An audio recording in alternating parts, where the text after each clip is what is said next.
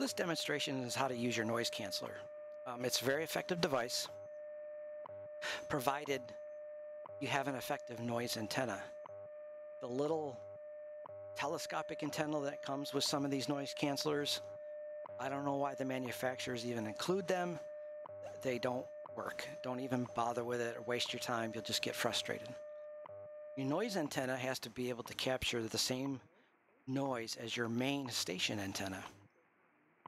And what the noise canceller does is by adjusting the different gain, the noise antenna gain and the main antenna gain, so that the noise levels are at the same level, the phase is what takes the noise and flips it over, inverts it, and then mixes it back together. So when the signal leaves the antenna jack in the back into your receiver, the noise has been nullified or removed.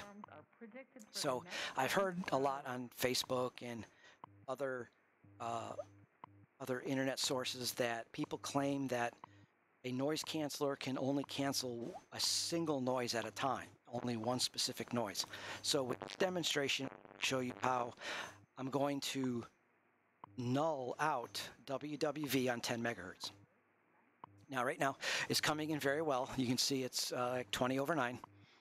And the noise antenna that I have is 65 feet of wire helically wound uh, on a nine foot crappie fishing pole, carbon fishing, fishing pole. And that's strapped to the side of my fence uh, between houses here where I can get some RFI from my neighbor's home. So let's demonstrate how this can work. So the first thing you want to do is you want to set your gains to zero and phase can be anywhere, that's fine. So we'll get started. You can still hear WWV in the background. It's very weak. Bring that volume up a little bit. Now we'll start um, using the noise canceller. So what I like to do is start with the, the noise antenna and I want to bring the signal up so it's about an about an S3 give or take. Okay? Now go to your main antenna, the station antenna, and also give it to about a 3. Right about there should be fine. Put the noise antenna back to where it was and start playing with the gain, with the phase. So I'll move it out there for a bit.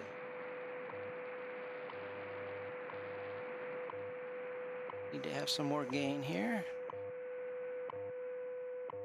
Okay, so now we can see the phase has been added together to make the signal stronger. Now we'll just start moving the phase one way or the other till you notice a drop in the signal. And it's right about there. Now once you reach this stage, you just want to rock your gains back and forth until the signal starts to disappear like that. Now we're still going to hear WWV in the background because this is coming from Skywave. And what's happening is, is because of the ionosphere,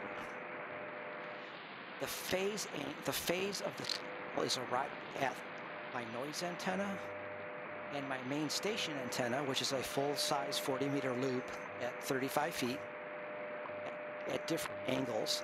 So in order to fully reduce WWV to nothing, I have to keep with the phase control and possibly the antenna gain.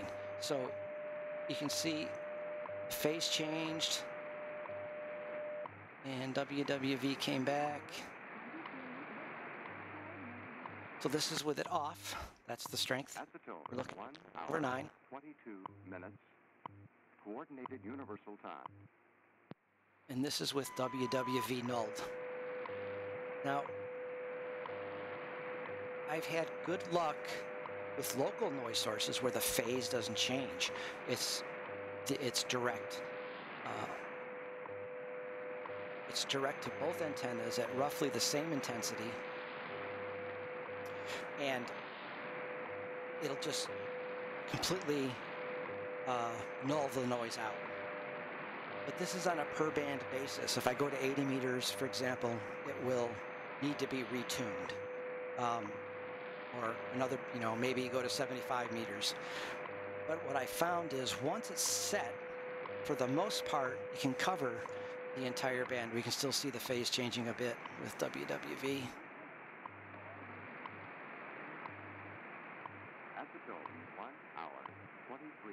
So if we take it out of phase, we can get the signals to add. So there we go. Now we're making the two signals, the signals between the station antenna and the noise antenna are actually adding together to give us a strong signal. It's not as strong as going straight to the main antenna, like this one is bypassing the noise canceller. But now here you can see that uh, it's not bad. So now we push phase angle back in and we go find the spot where it was. Okay, signal's coming up here, so that's probably what's happening.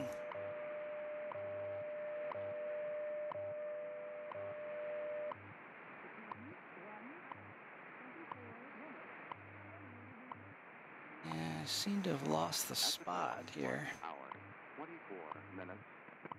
Coordinated Universal Time.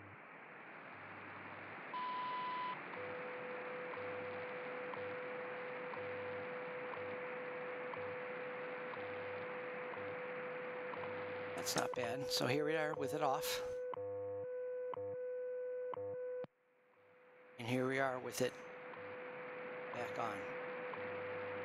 So we successfully took a very complex signal that has a carrier, two sidebands, some audio frequencies in there, tones, well, there are also audio frequencies, and we're able to uh, reduce to almost, still hear it in the background, still usable signal, but imagine having 40 over 9 noise or 25 over 9 noise from a sodium vapor lamp or someone's you know what in their in their basement um, being able to it that way. So if you have a noise canceller this is how you use it. If you don't have one I suggest you get one. Um, there are others on the market but I've used only the ANC4 and the MFJ. I prefer the MFJ uh, just because it has the ability to adjust the gain on the uh, noise antenna. And there you have it.